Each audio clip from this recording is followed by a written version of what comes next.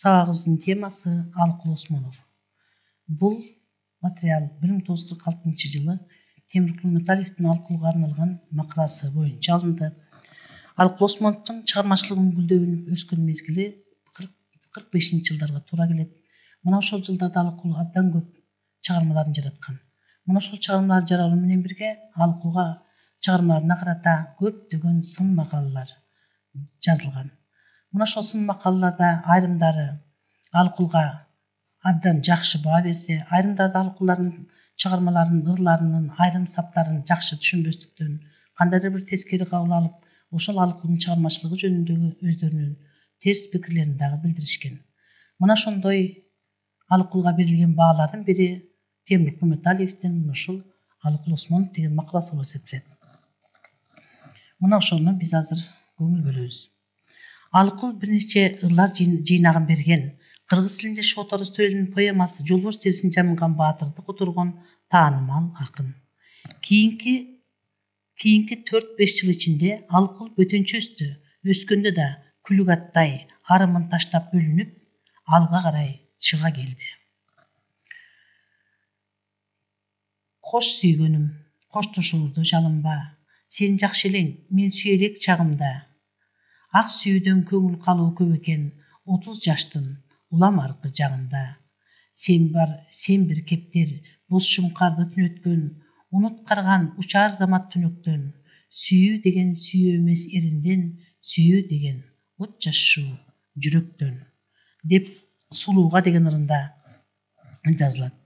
акындын махабат аттуу эл колунда жүргөн ырлар жыйнагында бул өңдү бул өңдү окугандын жүрөк сезимин ойготуучу ырлары көп. Баардык бизден мурун өткөн акындар сыяктуу эле сыяктуу да эл менен өзү туулуп өнүп өскөн жер менен гана тыгыз байланышкан ала тоону жандай сүйгөн бул тоону жат бирөөдөн кызганган шаркырап аккан көк кашка сууларын көргөндө кубанган толкунданган патриот акын. Ысык көл менен нарын түп суусу менен ичке суу сырт жайлоо менен кайыңды алыкулдун ырларынын аты жана уйкалышы болуп кызмат кылышат. Алсак сырт жайлоо аттуу адамга жакын жайлоо жароокер кыз койнундай салкын жайлоо бак кетпес ырыс кетпес жыр калчанбас атыр жел күмүш булак алтын жайлоо. Бул төрт сап ырдан акындын тууруп өскөн жерди жүрөгүнөн жалын чачып сүйгөндүгү даана көрүнүп турат ушуну менен бирге алыкул өз улутунун гана акын эмес. Бүткүл адам баласына бүткүл элдерге таандык ортодогу акын. Кыргыздын баатыр жигиттери сулуу кыздарын көрүп кубангандай эле атка чаап ат минип чаап бара жаткан коляны көрүп да баатыр учкуч покрышкиндин көрсөткөн эрдиктерин газетадан окуп да көлдөй толкуп жаш баладай кубанат. Бул көрүнүштөрдүн ар бирине өзүнүн башат суунун түбүндөгү ак таштардай кооз алтындай кымбат сөздөрүн арнап ыр жазат алсак эй россия россия боор энем мен өңдүү тоо кушуна койнуң кенен. Чын сөздү туура айтуудан таймана албайм. Биз элбиз биз кишибиз сени менен. Ичи тардык мактанчаактык өзү менен тең тайлашып же өтүп бара жаткан бирөөнү көрө албастык билимсиз наадан кишилердин белгиси болот. Европалык поэзиянын дөөсү гете өзүнүн акындык даңкы менен бүткүл европаны суктандырып турган кезинде мындай деп айткан экен силер мени ашыра мактап жатасыңар. Ирандыктар өздөрүнүн жети гана акынын улуу акын дешип тандап алышып калгандарын састкы кылып ташташты. Ошол састкыга чыгарылган ирандык акындардын ичинде менден жакшы ыр жазып жазган толуп жаткан акын бар деген экен. Гете чын айткан. Чын айтуу өзү канчалык кыйын болсо да эл ичинде менден да кыйын кишилер бар деп элдин күчүнө ишенүү улуу кишилердин башкы касиети болуп саналат. Биздин алкулда дагы ушул касиет касиет бардыгына бардыгын көрөбүз үлпет ыры деген ырында жоомартка жусупка мукайга туура баа берип алардын акындык күчтөрүнүн артыкчылыгын көрсөтөт ичи тардык кылуу ордуна кайра алардан күчтүү акын болушкандыктары менен мактанат алыкул жакында басмак өзүнүн жаңылар жыйнагын тапшырды. Бул жаңы жыйнагы махабатка караганда алда канча өйдө турат бул жыйнакта башкарма сугатчы орокчу саанчы өңдүү эң көп ырлар бар. Аттары белгисиз кийимдери жупуну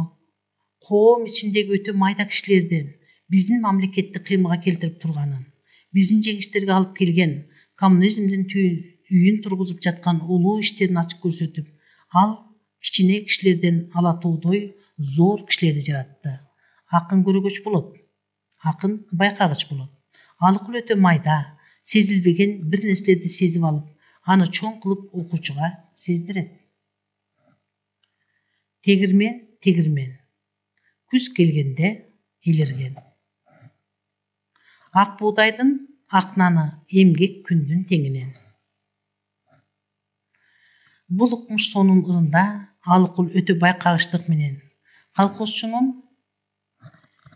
эмгегинин бир кичинекей бөлүгүн майда жүрөгүнөн көрсөтүп жатат. Акын үчүн бул тема байлыгы жагынан табылгы аябаган чоң олжо жаңы формуларды табуу жагынан алыкул кыргыз поэзиясында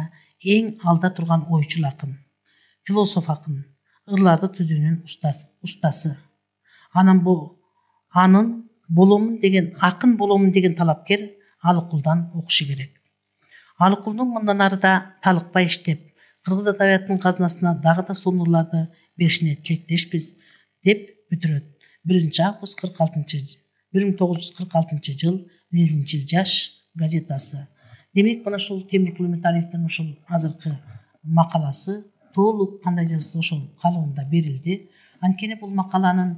канча жыл мурда жазылган болсо дагы мына ушул мезгилде алыкулга ошолордун берген баасы биз үчүн бүгүнкү күндө дагы баалуу болуп эсептелет мына ушул алыкул осмонов жөнүндө жазылган макала мына силер азыр сүрөттө көрүп турган мезгил жана алыкул деген китеп көрүнүп турат ушул макала мына ушул китептин ичине киргизилген ал эми астыңкы сүрөттө алыкул осмоновдун фрунзедеги ал кездеги фрунзе фрунзедеги үйү үй музейи көрүнүп турат демек алыкулдун ошол кезде учурунда жашаган үйү кийин музейге алынып калгандыгы жөнүндө маалыматыңар бар ал эми бул сол жактагы алыкулдун алыкул көл темасына абдан көп кайрылгандыктан ошол алыкулдун элеси көлдүн элеси менен чогуу берилген кийинки алыкул осмонов деген бул силер көрүп турган жыйнак кийинки мезгилде чыккан жаңы жыйнак болуп эсептелет